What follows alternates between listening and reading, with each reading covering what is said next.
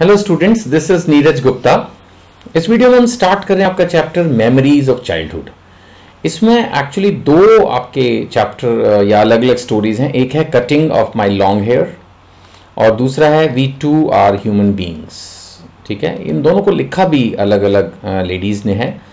और बेसिकली ये autobiographical episodes हैं। ऑटोबायोग्राफिकल एपिसोड्स का मतलब कि ये घटनाएँ जीवन में वास्तव में ऑथर्स के साथ घटी। और दोनों ही आ, किसी ऐसी कास्ट या सोसाइटी को बिलोंग करती थी जो थोड़ा सा यू कैन से मार्जिनलाइज्ड यानी कि जिसको हम थोड़ा सा इनसिग्निफिकेंट या छोटा समझते हैं। You know I don't want to use this terms but समझाने के लिए थोड़ा सा बोलने पड़ रहा है। तो इस तरह से जो थोड़ा सा जैसे कहते हैं बैकवर्ड क्लास या इस तरह के जो है लोगों की ये कहानी है। तो पहली जो है वो जिट कला सा है और दूसरी बामा। ये तो अमेरिकन लेडी हैं और बामा इंडियन राइटर हैं।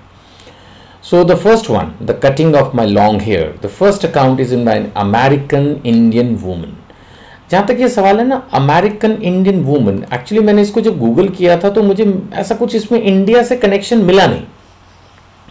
बहुत सारा गूगल करने के बाद एट दी मोस्ट मैं इसी कंक्लूजन पर पहुँच पाया कि आ, अमेरिका में जो शुरू में लोग गए थे वो इनको इंडियंस बोलते हैं तो उस बेस पर ही अमेरिकन इंडियन वुमन लिखा है इन्होंने। स्कूल भी जिसमें वो पढ़ी उसको भी इंडियन बोर्डिंग स्कूल बोला बट एज सच इसका कोई बहुत इंडिया से कनेक्शन नहीं है। So American woman born in the late nineteen century late nineteen century का मतलब ये हो गया कि 1800 समथिंग वो भी एंड वाला। And second is a modern Tamil Dalit writer यानी ये तो इंडियन राइटर है। सेकेंड वन खैर, अभी हम फ़र्स्ट वन की बात कर रहे हैं। First one is Zitkalasa born in 1876 the author was an extraordinary talented यानी वो बहुत ही इंटेलिजेंट हैं। नेचुरली जब इतनी बड़ी उन्होंने एक स्टोरी लिख दी, इतनी फ़ेमस है कि उनकी लिखी हुई चीज़ आज तक हम पढ़ रहे हैं, कब की बात हो गई? डेढ़ सौ साल पहले की बात हो गई। So born in 1876 She was an extraordinarily talented and educated native American Indian woman तो मैं इंडियन वुमन को फ़िलहाल इग्नोर ही कर रहा हूँ। She was a native American native American मतलब ओरिजिनली अमेरिकन है ना? ज़्यादातर लोग या बहुत सारे लोग आई शुड से अमेरिका में जाकर बसे हैं, है ना? दे हैव बीन सेटल्ड लेकिन she was native American originally from America so native American are the first inhabitants of America as a writer she adopted the pen name Zitkalasa and in 1900 यानी जब वो 24 साल की थी began publishing articles criticising the Carlisle Indian school Carlisle Indian school को भी जब Google किया मैंने तो मुझे मिला it's an Indian boarding school in the United States from 1879 through 1918 तो इसका मतलब ये मैडम जब पैदा हुई, उसके दो तीन साल बाद ये स्कूल खुला तो जब वो पाँच या छः साल की रही होंगी, शायद तब की ये स्टोरी है या तब का इंसिडेंट है। और तभी ये स्कूल नया नया ही होगा ऑलमोस्ट है ना? और ये बाद में फिर बंद भी हो गया 1918 में।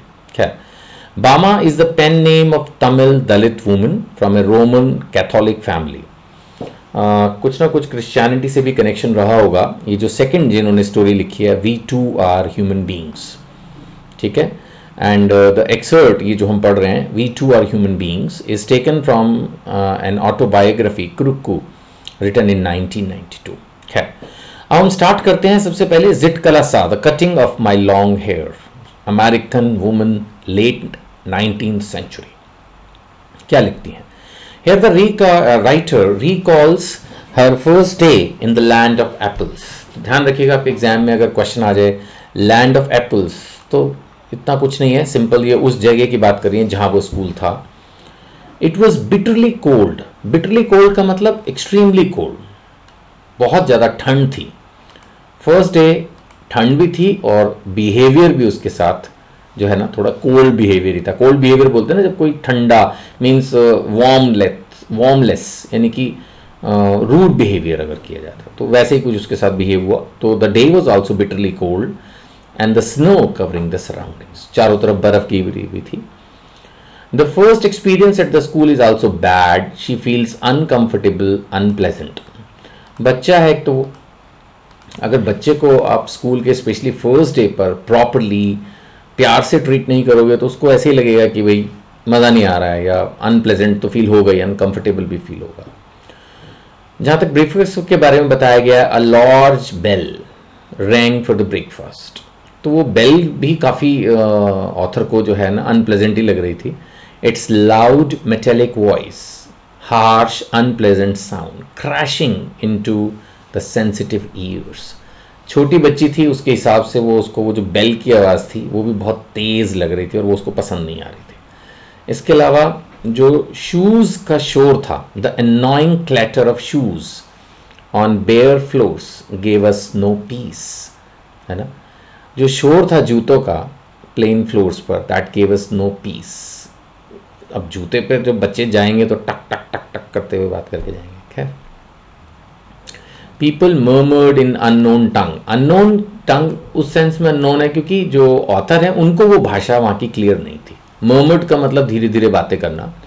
The narrator's soul had lost her peace in freedom it's not about soul she it's like it's she has lost her peace of mind simple freedom भी चली गई। नेचुरली वो पहले गाँव में रहती थी।